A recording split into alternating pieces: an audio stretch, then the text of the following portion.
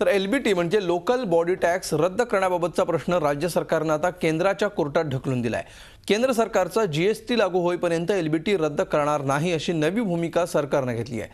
L B T रद्द करण्याचं आश्वासन भाजपनं आपल्या निवडणूक जाहीरनाम्यात दिलं होतं. मात्र त्याबाबतच्या भूमिकेवरून राज्य सरकारनं घुमजाव केलाय अशी शंका आता निर्माण होतीये. दुसरीकडे एल बी टी आणि टोल रद्द करण्याबाबत सरकार ठाम असल्याचा दावा शिक्षण मंत्री विनोद तावडे यांनी केला आहे जी एस टीबाबत राज्य सरकारची आज बैठक होणार आहे. टोल आणि एल बी टीच्या विषयामध्ये आम्ही भूमिका खूप स्पष्ट केलेली आहे की अन्यायमुक्त टोल आम्ही नक्की बंद करणार आहोत. आणि त्याचबरोबर एल बी टीच्या विषयामध्ये हा सगळा आढावा घेऊन याबाबतची भूमिका मुख्यमंत्र्यांनी परवाच सांगितली आहे. झी चोवीस तास रहा एक पाऊल पुढे.